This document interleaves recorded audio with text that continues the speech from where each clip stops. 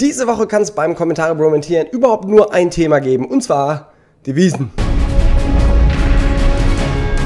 Nein, das Oktoberfest ist natürlich vorbei, aber was gerade erst angefangen hat, ist der Oktober-Patch oder der Herbst-Patch für Battlefield 4 und da haben mich natürlich viele gefragt, was ich denn davon halte.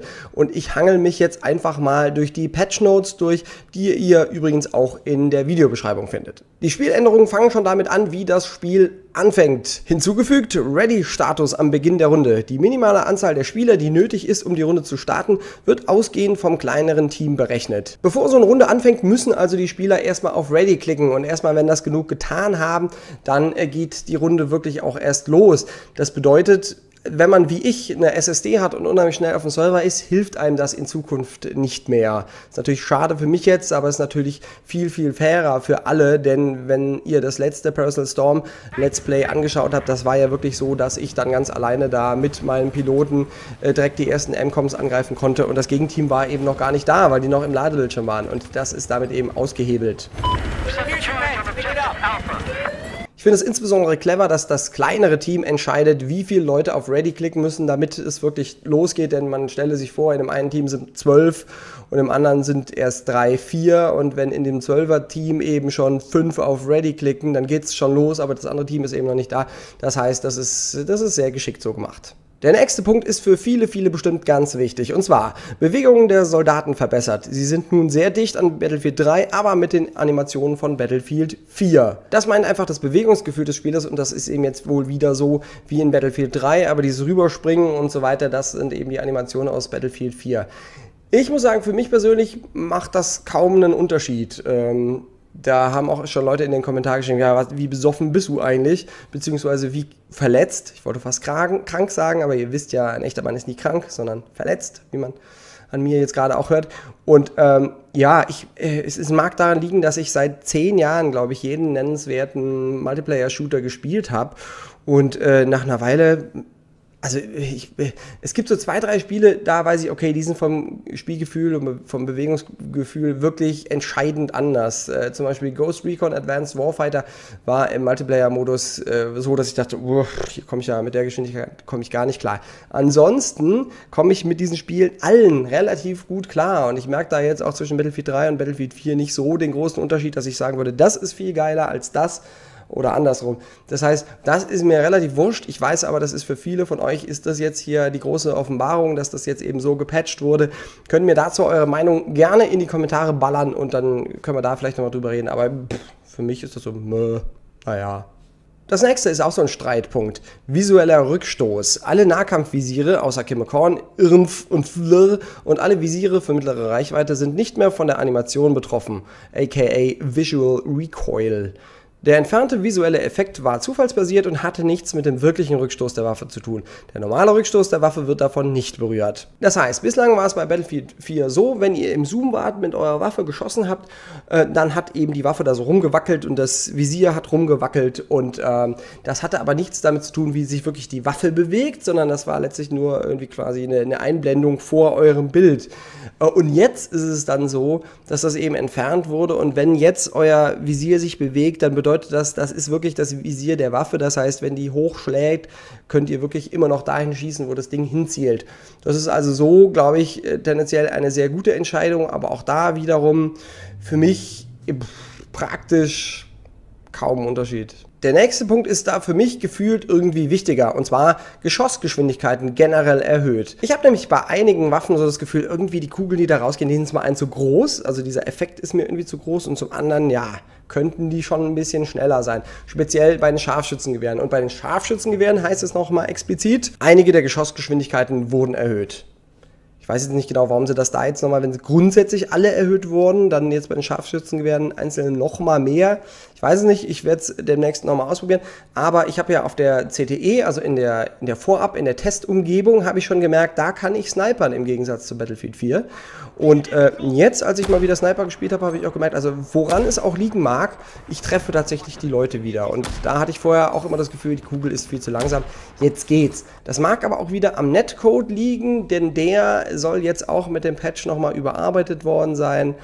Mhm, auch da, ich bin oft genug auch schon wieder mal von Leuten erschossen worden, wo ich dachte, eigentlich hätte ich schon längst hinter der Deckung sein müssen. Aber ich war ja noch nie einer, der besonders viel über den Netcode geschimpft hat. Von daher auch das hier für mich, naja, eher so ein bisschen kosmetische Änderungen. Und damit kommen wir mal zu ein paar greifbareren Änderungen, nämlich zu den Änderungen an den Waffen. Eigentlich hat so fast jede Waffe irgendwie nochmal einen kleinen äh, Tweak bekommen. Äh, grundsätzlich gilt aber, Abzugsverzögerung wurde von allen Revolvern entfernt. Halte ich für sehr, sehr richtig. Das hatte ich schon mal in einem anderen Video angesprochen. Es gibt für mich einfach überhaupt keinen Sinn, ähm, da so, eine, so ein Delay einzubauen. Wer sich da nicht mehr dran erinnern kann, es war mal so vor dem Patch, dass wenn man mit dem Revolver geschossen hat, sich der Schuss erst ein paar Millisekunden nach dem Klick gelöst hat. Damit wollte DICE also umsetzen, dass ja ein Revolver eine höhere Abzugs, äh, einen höheren Abzugswiderstand hat. Und deshalb würde das eben quasi ein bisschen länger dauern, bis dann der Schuss fällt. Ich habe immer gesagt, das ist Quatsch, denn für mich ist das Klicken nicht unbedingt der Moment, wo ich ähm, äh, den Abzug ziehe, sondern eher der Moment, wo sich der Schuss löst. Das ist natürlich idealerweise irgendwie das Gleiche, aber ich würde da jetzt nicht reinrechnen, wie fest muss ich ihn ziehen, denn sonst hätte ich auch bei irgendwelchen Sniper-Flinten, Büchsen, Entschuldigung, äh, da auch so eine Abzugsverzögerung, das gibt einfach keinen Sinn. Und bei den Revolvern haben sie es jetzt zum Glück rausgemacht, das heißt, die verhalten sich genauso wie ähm, die anderen Pistolen auch. Für mich heißt das, äh, die Unica, die ich vorher, wenn schon Revolver, dann immer benutzt habe, weil die wohl diesen Delay auch schon nicht mehr hatte, die ist jetzt nicht mehr besser als, als die anderen großkalibrigen Revolver. Heißt gleichzeitig auch, die Desert Eagle ist jetzt nicht mehr das Nonplusultra. Die haben sie nämlich auch ein bisschen runtergenervt. Ähm, das heißt, ich glaube, im Pistolenbereich haben wir da jetzt wieder ein bisschen mehr Balance hergestellt. Die Slams gehören ja zu meinen Lieblingsgadgets des Pioniers und die hat es auch erwischt. Schaden und Explosionsradius gesenkt. Drei Slams zerstören nun nicht mehr einen Kampfpanzer. Der ausgeschaltete Panzer benötigt eine Rakete, um zerstört zu werden. Also wahrscheinlich eine Rakete noch zusätzlich. Ich finde es ein bisschen schade, ähm, denn ich fand das immer super. Drei Slams irgendwo hin, wusstest du, killt alles. Aber spielerisch hat das natürlich überhaupt keinen äh, Sinn gemacht, denn damit waren die Minen, von denen du auch drei für den Kampfpanzer gebraucht hast, praktisch unnütz. Die Slams waren ja, hatten genauso viel Bums und du konntest sie eben noch versteckt in irgendwelche Türrahmen äh, pappen. Das heißt, niemand hat mehr Minen benutzt. Jetzt sind die Minen wieder wichtiger ähm, und das finde ich gut jetzt mal so rein logisch, also so eine Slam, die nur so klein ist, äh, soll denselben Bums haben wie so eine Tellermine. Das äh, fühlte sich einfach falsch an. Bei den Granaten hat sich auch was getan. Anzahl der tragbaren RGOs, das sind die Impact-Granaten, und der V40 Minis um jeweils einen reduziert. Sprengradius der RGO und der V40 Mini reduziert benötigte Nachladezeit der Granaten durch Munitionskisten erhöht. Grundsätzlich sind ab jetzt also weniger Granaten in der Luft und gerade auf äh, Maps wie Metro oder Locker ist das sicherlich ein Gewinn. Auch wenn ich ein großer Freund der Impact bin, kann man sich über das Ding natürlich furchtbar aufregen, denn die killt wirklich unheimlich viel. Und jetzt hast du halt pro Setup nur noch eine und äh, die ist auch noch abgeschwächt und du kriegst relativ spät eine neue. Also wer mal Supporter spielt äh, oder eine Munitionskiste gefunden hat und wartet, ja geil, endlich kriege ich eine neue Granate, das dauert jetzt ziemlich lange. Finde ich, äh, find ich okay. Nein, finde ich, find ich eigentlich gut, wenn ich ehrlich bin. Denn so eine Handgranate soll halt irgendwie auch was Besonderes sein. Eigentlich sollst du die Leute halt abschießen und nicht totwerfen. Für mich am allerwichtigsten sind aber die Änderungen, die der Medic erfahren hat. Und zwar Wiederbelebungstimer wurde hinzugefügt. Damit wird angezeigt, wie lange ein Mitspieler noch wiederbelebt werden kann. Ton, welcher angibt, ob ein Defibrillator zu 100% aufgeladen ist, wurde hinzugefügt.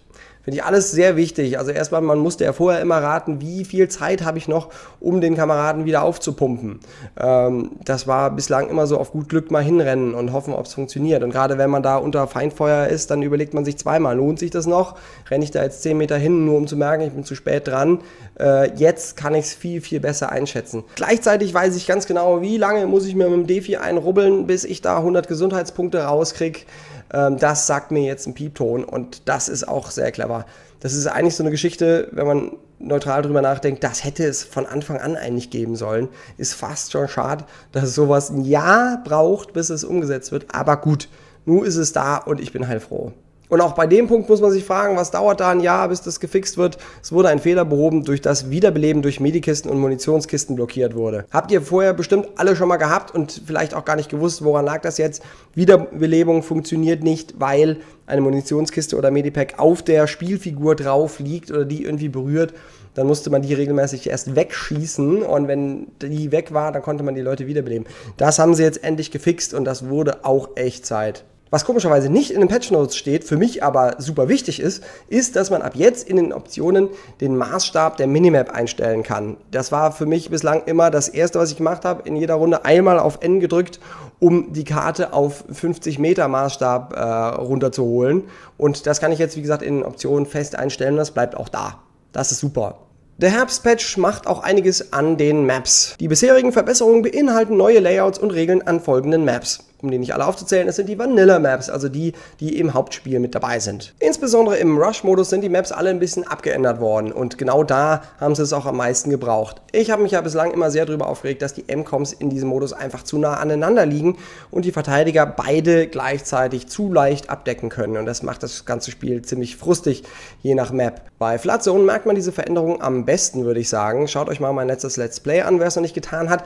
Da wurde also zum einen die Spielreihenfolge umgedreht, dann gibt es auch keine Fahrzeuge mehr und die M-Coms haben sie wirklich so gesetzt, dass der, das eine liegt irgendwo im zweiten Stock und das andere irgendwo im Keller, sodass du niemals beide gleichzeitig abdecken kannst. Und das ist wirklich genauso, wie es sein sollte. Das heißt, für mich macht der äh, Rush-Modus jetzt nochmal deutlich mehr Spaß als vorher. Gut, es war ehrlich gesagt auch nicht so schwer, denn für mich war der Rush-Modus in Battlefield 4 so ein bisschen verkackt. Ich glaube, jetzt äh, haben sie es einigermaßen hingekriegt. Jetzt habe auch ich hier wieder Spaß.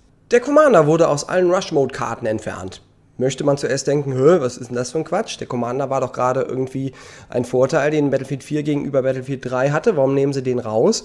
Nüchtern betrachtet ist das aber eine sehr gute Idee, denn äh, ich selbst habe auf dem Home of the Bro Server, auf dem gerade Rush läuft, den Commander ausgestellt, denn wenn ich so ein bisschen über nachdenke, ist der für diesen Modus einfach zu mächtig, denn die Karten sind ja dann relativ schmal und der Commander kann eben mit einer UAV-Drohne, die ja quasi in Endlosrotation äh, fliegen kann, immer die ganze Map aufdecken. Und das ist natürlich nicht im Sinne des Erfinders, denn damit werden viele Gadgets, wie zum Beispiel der Bewegungsmelder des, des äh, Recons, werden damit nutzlos. Und deshalb hatte ich den bei mir ohnehin abgestellt.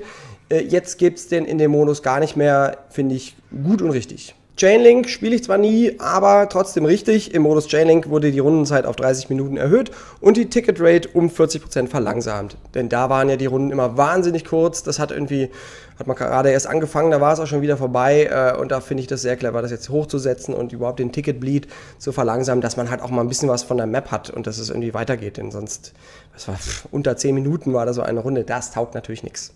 Auch nicht meins, aber trotzdem auch richtig im Team Deathmatch. Es wurde ein Fehler behoben, durch den Gegner im Team Deathmatch zu dicht beieinander gespawnt sind. Der Fehler betraf alle Karten.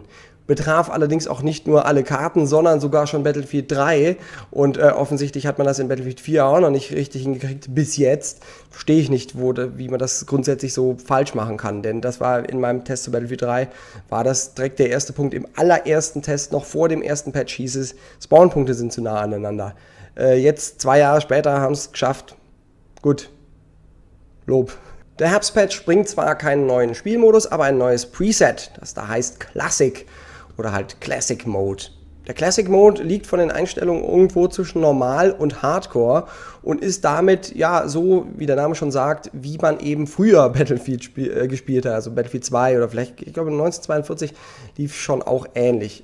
Ein paar Beispiele, wie der Classic Mode funktioniert. Zum einen heilen die Spieler nicht mehr automatisch. Das heißt, du brauchst wirklich einen Sunny, der dir dann da was hinwirft und dich wieder aufpeppelt. Ich glaube, das kann ganz schön frustrierend sein auf einem normalen äh, Server, wo eben die Leute vielleicht nicht so auf Teamspiel bedacht sind. Ich glaube aber, für eingespielte Squads oder Teams, wie es eben das Suicide Buggy Squad 1 ist, ist das natürlich super, denn wir spielen ohnehin immer äh, dicht beieinander und äh, dann kann man sich da wirklich durch Teamspiel ganz deutlich hervortun. Das gleiche gilt auch für Fahrzeuge, die reparieren auch nicht mehr automatisch.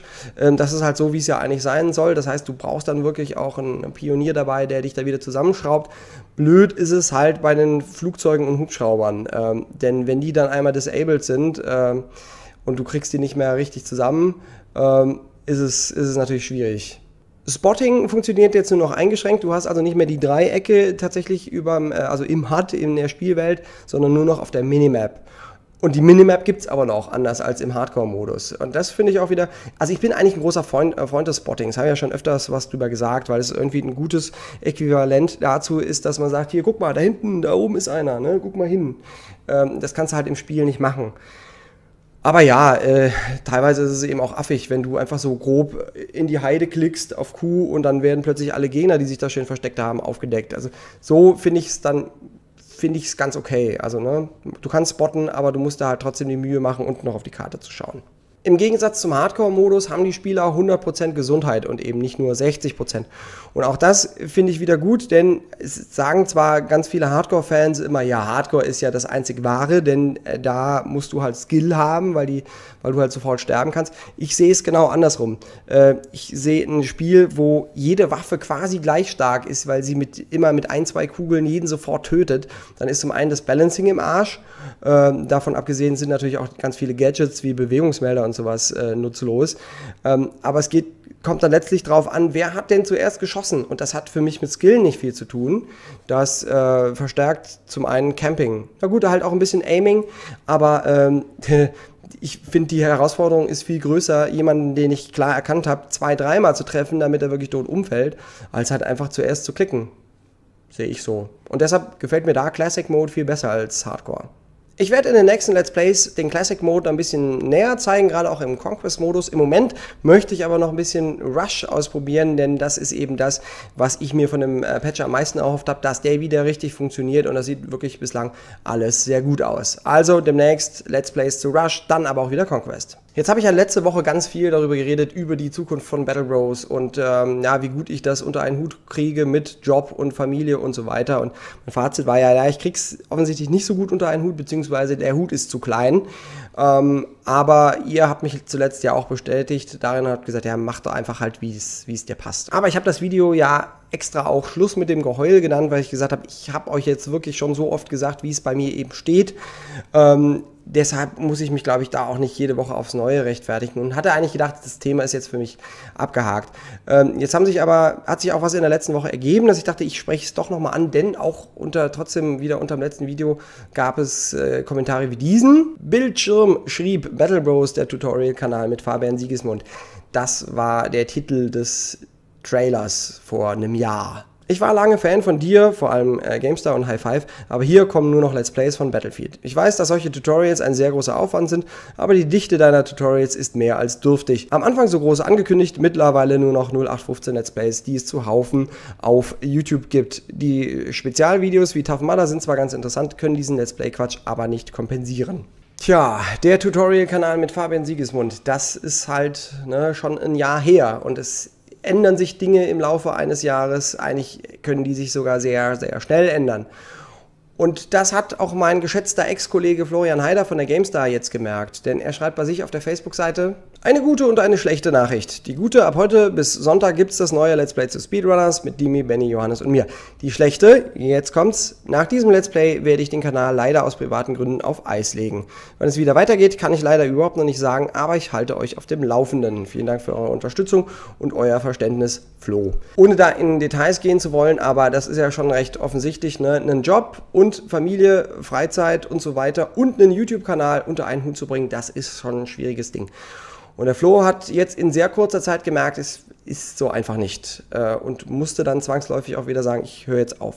Und das habe ich ja letzte, letzte Woche auch schon oder in der letzten Folge schon gesagt. Also es ist wirklich eine, eine konkrete Option für mich auch zu sagen, ich höre jetzt einfach auf. Denn ähm, es ist echt viel Arbeit. Dabei ist meine eigentliche Arbeit ja Studio 71. Da mache ich 50 Stunden die Woche. Und dann komme ich nach Hause und dann habe ich noch meine Familie und dann habe ich noch diesen zweiten Job. Das heißt, es geht einfach nicht anders.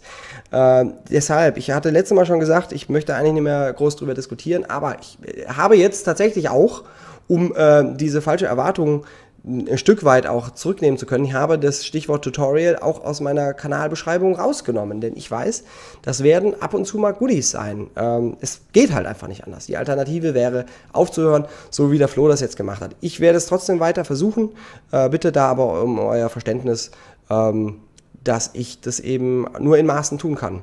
So, das war es jetzt aber wirklich zum letzten Mal mit dem Geheule. Ich heiße euch herzlich willkommen auf meinem Let's Play-Kanal und äh, was wollte ich noch sagen? Äh, achso, ich arbeite gerade am Supporter-Tutorial.